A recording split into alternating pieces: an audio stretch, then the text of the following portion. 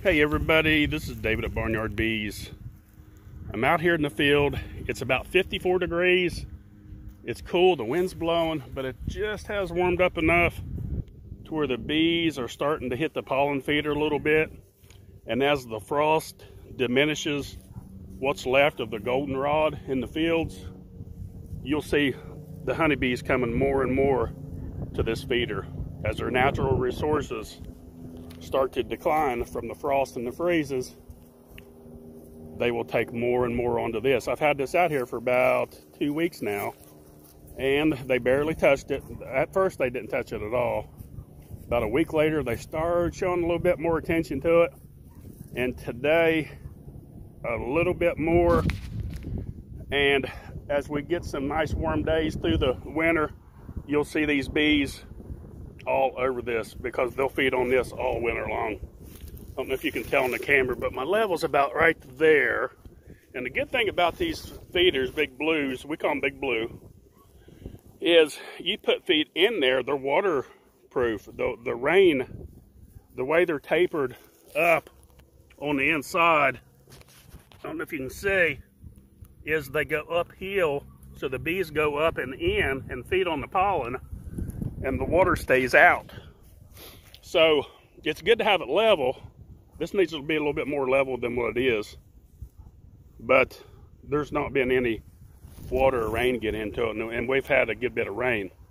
Now, I've always been a big believer in offering bees pollen all through the winter. They got to have a protein source.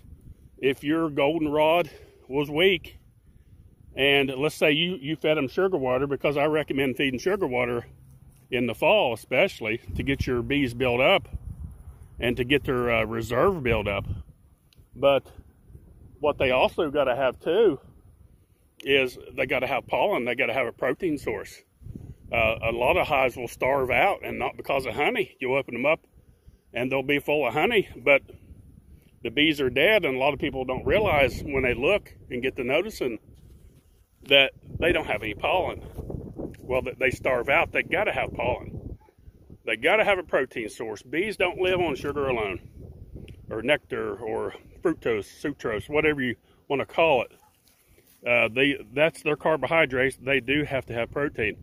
So these feeders right here, if you're interested in any of these, we have them at Barnyard Bees, and um, you can you can get bags of pollen from a five pound bag, 10 pound bag, all the way up to a 50 pound bag. This right here holds, uh, it wouldn't hold 50 pounds. Um, I had a five gallon bucket and it was almost full and it about filled it up. And that, that will probably last me the rest of the, the winter. So there's those bees will will feed on this pretty much through the winter. And it'll give them a, a very good source of, of protein. You can see, look how dusty they are from being in the... Now bees, bees are uh, very territorial this time of year. If you go over there and get in their hive, they wouldn't be the same demeanor as you see them right here they'd be uh, a lot more aggressive. But since they're out of their their hive, and see, they just kind of move off to another location.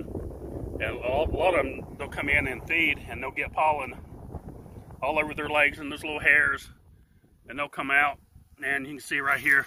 Well, he flew off. Right here's one here on the bottom. Uh, they'll take their legs and they'll they'll pack those uh, their little pouches full of pollen and then they'll fly off to the hive. But these are very important. These will help get your bees through the winter. Um, like I said, if you're interested in any of these, check them out. Uh, our website, barnyardbees.com, or call the store. Either way, we got them. But I just thought I'd show that. It's uh, it's one of those things throughout the winter that I can uh, show a little bit of activity in because most of the time the hives, I mean, you can just see them coming and going, you know, picking out the pollen. But I really like focusing on these feeders throughout the winter. Um, I just I love watching them. It just uh, it's part of uh, bee season through the winter that you can enjoy because they don't do a whole lot else of anything. You know, they um, pretty much cluster when it's cold, come out and forage a little bit, but not a whole lot. They do their cleansing flights and such. Uh, like I said, the queen, she never does stop laying, but she will throttle down quite a bit.